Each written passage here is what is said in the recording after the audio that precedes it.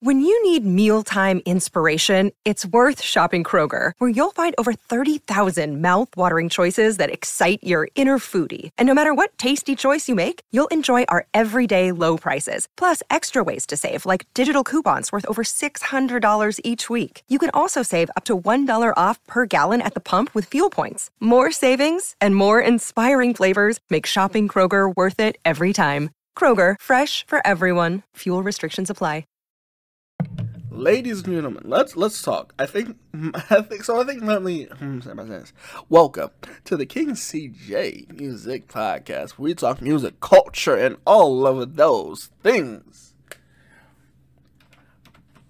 This is an interesting song, and I and I mean this because there are two aspects to the song in which I do have to listen to. So it is rumored that his next album will be called the death of Slim Shady. Which is interesting. I think it's it is interesting. It, it's rumored that it's the death of Slim Shady.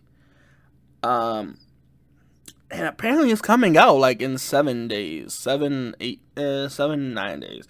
It's coming out. So the death of Slim Shady, death of Slim Shady is a song in which I am very much interested in because it's it's looking like a 20 song track. It's looking like a 20 song pack. And so, as we look at the list of the death of Slim Shady, Guapa de Gra, Coup de Grace, uh, we are like this is this is big. And so let me explain this. For some background information, if you don't know who the Death of Slim Shady is, let me let me let, let me tell you. Originally, Eminem, an American artist, was part of a group called the Original D12, and the the, the notation of the original the versus a previous D12 is because Eminem tried to make D12 happen twice. Um, earlier in his career, later in his career, after Proof died and Bugs died. Uh, R.I.P. Proof, R.I.P. Bugs. Um, so the death of Slim Shady, which I it, it's crazy to watch things come back in full circle. It really is, right? The death of Slim Shady, because his art, they were a group full of artists that were basically their alter egos. Like they, it was six rappers and six alter egos, and the death of Slim Shady is, who it's been a ride. It's simply, it's simply put, it's been a ride. Anyway, he's a Detroit rapper. He's a rapper that Proof got into the rap scene, into the battle rap scene. Uh, but yeah, it was six different personalities. Eminem's alter ego was Slim Shady, and Eminem refers to this because in a tweet he says that his la- in his last his last act is the death of Slim Shady. So it's more Coup de Grace. Uh, Coup de Grace. Um, it's it's interesting because I like I like the callback. I do. Um, and I and I, I've said this before. His verse is probably going to be his his his, his verse on the song is probably going to set the tone for the album since it's a week away, um, a week or something, a week, two weeks away, a week, a week away, another week, yeah, it'll be a week away. And another and another important person, and let's let's talk about it is Big Sean. Big Sean is on this song. However, let me be very clear when I say this this is interesting because if you are Big Sean, you are Big Sean, you just in the Drake feud. Uh, people are trying to figure out who to replace for Cole. You're in that place with Future, Big Sean, for the top three of this generation. Your next verse has to be better than him with J. Cole with Tems. It has to be better than what Drake has um, done and tried to make a, uh, another version of like a famous song. So your verse has to be airtight, solid. If they want to put you up there as the top, as the other three, now the picture is the other three using a big pit in the first person shooter thing. So that's what I'm saying. This this brought a lot of things out. This had a lot of moving pieces. Um, and so if I'm Big Sean, this is something I cannot mess up. And it says especially, especially if the death of, of definitely if I want an album called The Death of Slim Shady, right? It has to be lyrical. I can't pull any punches. It has to be lyrical, right? And maybe Baby Tron is somebody. Let me be fully. Let me fully clear. Trent, uh, Baby Troy. I've heard from like Baby, from Jesus started with something like that. It was a song in 2019. Um, but I have hopes for him as an upcoming artist. So when I saw his name on Eminem titled Tobey, I had questions, just like others. So when we open up to Tobey's verse, we get you know where I was bit by a spider. But see me, it was a goat, right? Because he's a goat. I'm a goat, or I'm a future goat, you know, because he's a goat as a Spider Man, which is interesting. If you want space, take the helmet off, which was, I thought was very interesting, like the the the visual of that, right? He says, "My city's Leia, and I'm Obi Wan," which I got a mission to pass, which I think is an interesting start. It's it's interesting to bring people that aren't necessarily like fans of Eminem into like a space where Star Star Wars is the theme, because you'll bring a lot of people in here. You know, I'm legally blind. You know that these references are great. However, when we get to like a verse that shocks me, it's it's Big Sean's verse. Um, because I don't want a chip on my shoulder. If he's Obi Wan, I'm Yoda, right? Like it's the hey, we're playing with the three generational chess here. If he's new to Obi Wan, I'm Yoda. It's it's interesting because like it's interesting to me because it, I think you look at the mentors that Big Sean has had, like Kanye West, Jay Z, Lil Wayne, and he might be considered Yoda when it comes to how gently he's played with albums these years. You know, it's his wordplay, his his movements have been, and to some extent, I get it. You know, it's it's crazy. And he, he kind of flirts with this line of, hey, you know, if you want to bring the female in here, I can she want to touch me and rub me and go back to the hubby and she he probably he she probably smell like me. Smell like my cologne. It's it's interesting because i love this right? It's interesting to me. I can paint a picture with my stencil i made my stencil. If you're like if you love a draw you know your stencil like the, you draw with on like the, the the tablets to like draw stuff out. It's it, it's clever, but it's like it's interesting to me, right? But he also says you know, what I mean? like I'm, I'm a Cole Bennett. Oh, I love this. Cole Bennett is finally getting the respect he deserves at the music he makes. Right, I'm from Detroit, but where they BMF, which is the saying of the the movie that Fifty Cent did, but it's also like it's it's it's there, right? Like it's that's where it's centered in Detroit.